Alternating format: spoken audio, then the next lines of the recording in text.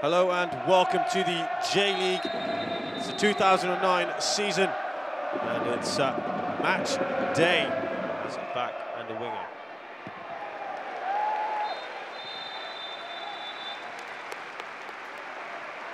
Well, half time, it's been largely uneventful, I'm afraid.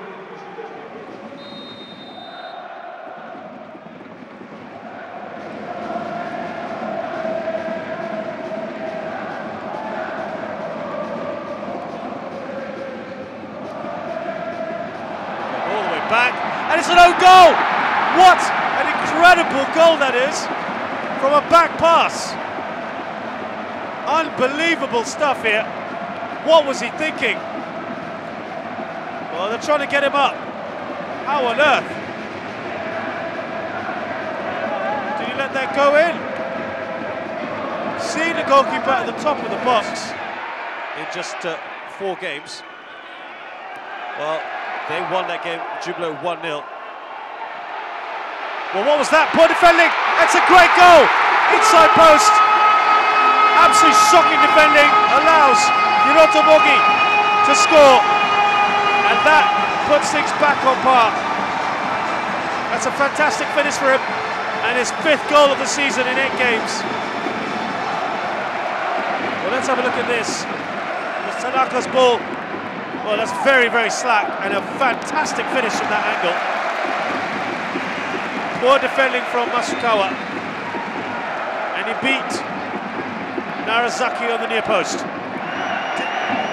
Really has been a turnaround, hasn't it? Just a few minutes ago, they were 1-0 down.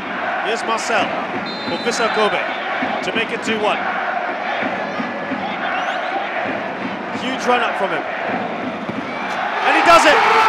Good penalty, right into the bottom corner. Narazaki gets the right way. Well, Vissel Kobe are now 2-1 up. Right into the corner. That's an impossible one to save for a keeper, really. That's where you want to put your penalties. Very low, very high, where the keeper will struggle to get to. And they've got just one win on name, and that's it! There's the equaliser! Right at the end of the play. Unbelievable. Hideo Tanaka sliding the ball in. It was a long, long effort from Narazaki. The knockdown looked like handball possibly, and it took a very wicked deflection that led to the goal. And that's what Fox the goalkeeper possibly, but it wasn't.